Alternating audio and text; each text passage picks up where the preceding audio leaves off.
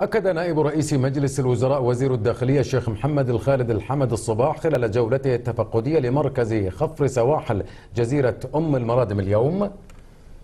أكد أن رجال خفر السواحل هم درع الأمان لمياهنا الإقليمية موضحا أيضا أن المنظومة البحرية تسير في الاتجاه الصحيح وفق ما خطط ورسم لها. تناول معالي نائب رئيس مجلس الوزراء ووزير الداخلية. الشيخ محمد الخالد الحمد الصباح وبرفقته وكيل وزارة الداخلية الفريق سليمان فهد الفهد.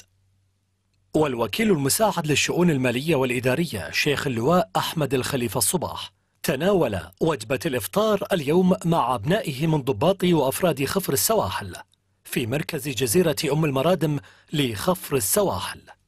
وكان في استقبال معاليه الوفد المرافق لدى وصوله إلى الجزيرة الوكيل المساعد لأمن الحدود البحرية اللواء زهير النصر الله ومدير عام الإدارة العامة لخفر السواحل العميد بحري مبارك العميري ومساعد المدير العام للإدارة العامة لخفر السواحل العقيد البحري صالح الفودري ومدراء الإدارات.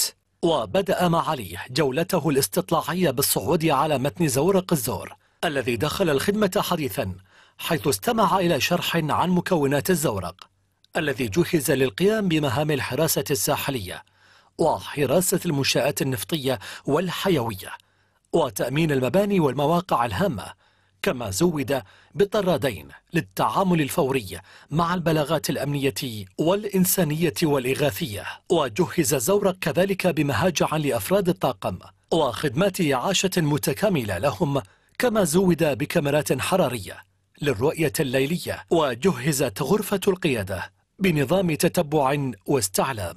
وبعد ذلك تفقد معاليه ومرافقيه الطراريد الاعتراضية الجديدة من نوع تامبا واستمع إلى شرح عن مهامها التي ترتكز على تلقي البلاغات من غرفة العمليات والانتقال إلى مواقعها حيث تتميز بالسرعة والمناورة والقدرة على المطاردة البحرية وعلى التعامل مع فرضيات مختلفة والعمل في كل الظروف المناخية كما زودت بأنظمة تمكنها من الرماية المتحركة والثابتة بالأسلحة الرشاشة الأوتوماتيكية. وخلال تفقد معاليه لأحد الطراريد الاعتراضية الجديدة تامبا ميدانيا أمر تقييمه وهو معهم بتجربة عملية لمعرفة مدى كفاءته ومهارته في المناورة والمطاردة والرماية الحية. وزار معالي بعد ذلك مركز الجوازات والجمارك اللذين أعدا لاستقبال الراغبين بالدخول والخروج من البلاد عبر هذه النقطة.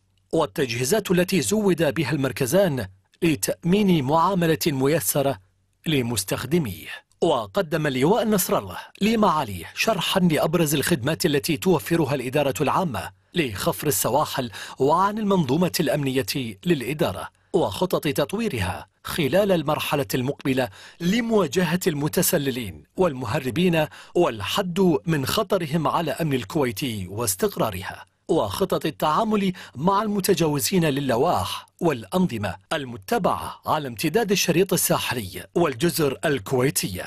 ثم التقى معاليه مع أخوانه وأبنائه من ضباط وأفراد السواحل حيث حيا جهودهم التي يبذلونها في سبيل المحافظة على أمن وأمان سواحل الكويت مثنيا على الكفاءة الأمنية التي ظهر عليها رجال خفر السواحل عند التعامل مع التطورات الأمنية. ضمن الواجبات والمسؤوليات المنوطة بهم مضيفا أنهم درع الأمان لمياهنا الإقليمية ولن نبخل عليهم بالإمكانيات والمعدات البحرية. وقال معاليه إننا سنشهد بالأشهر القادمة بالنسبة للزوارق والطراريد البحرية نقلة نوعية في منظومتها في الدوريات البحرية مشيرا إلى أنها تسير في الاتجاه الصحيح وفق ما خطط ورسم لها. حيث أن الانطلاق من الجزر هدف استراتيجي نسعى إليه باكتمال المنظومة ومشيدا بما استمع إليه عن عمل الطراريد الاعتراضية تامبا وأكد أن عمل رجال السواحل مقدر من أهل الكويت بأسره حيث أنه يتم في ظل الأعباء والظروف المناخية الصعبة. فالانتباه واليقظة يجب أن لا تحيد عن ذهن أي رجل منكم. وأوضح الشيخ محمد الخالد أن جهود رجال السواحل في الضبطيات وقضايا التهريب مشهود لها.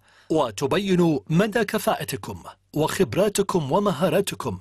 فلا تغفل لكم عين ينفذ من خلالها من يريد التربص بهذا الوطن.